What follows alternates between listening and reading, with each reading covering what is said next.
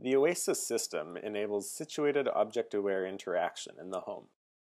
It leverages advances in computer vision and interactive display technology to address key design issues in hybrid physical-virtual systems.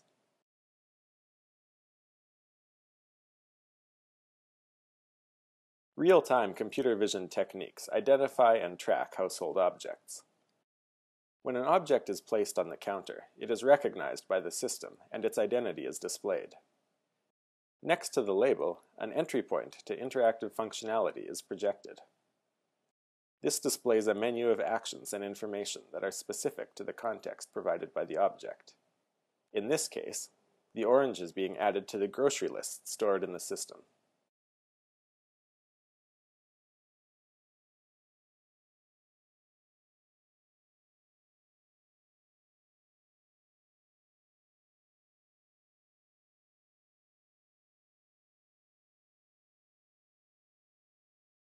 Actions can also be launched without an object, and later have a scope applied.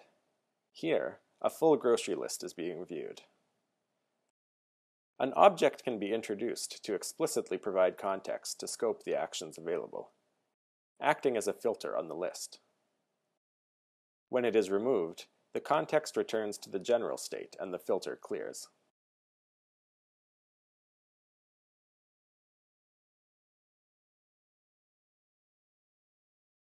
To interact with objects that are not always physically present, it is necessary to be able to create and manipulate virtual objects. A virtual object can be made from a physical object by dragging the interaction point away from the object. A copy is created which can be manipulated independently, while still presenting the same functionality as the original. Virtual objects can be stored for quick access in a drawer or brushed off the front of the counter to be discarded.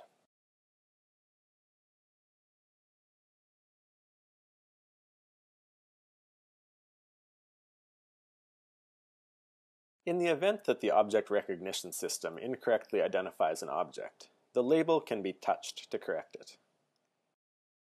The most likely identities are presented, as determined by the object recognition system, or an entirely different one can be entered manually.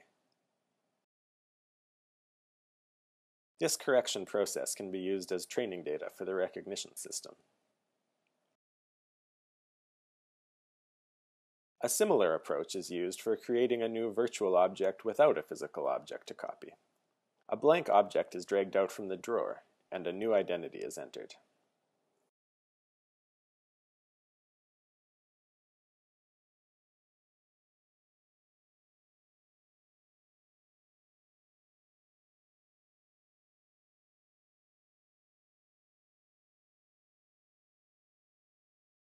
Action is normally taken only in response to explicit user input.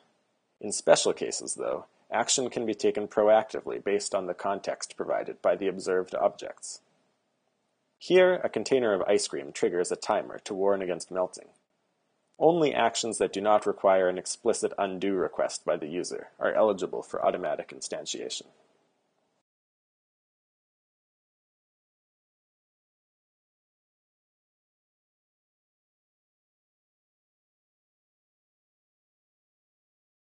Objects can be grouped together transiently to form collections. Collections are formed opportunistically based on physical proximity, and can be created and destroyed quickly by moving the physical objects. They present functionality that is scoped to the contents of the collection. In this case, recipes are presented that include all of the ingredients in the collection. Similar to a virtual object, collections can be saved for later access. This provides a persistent shortcut to the context defined by the collection.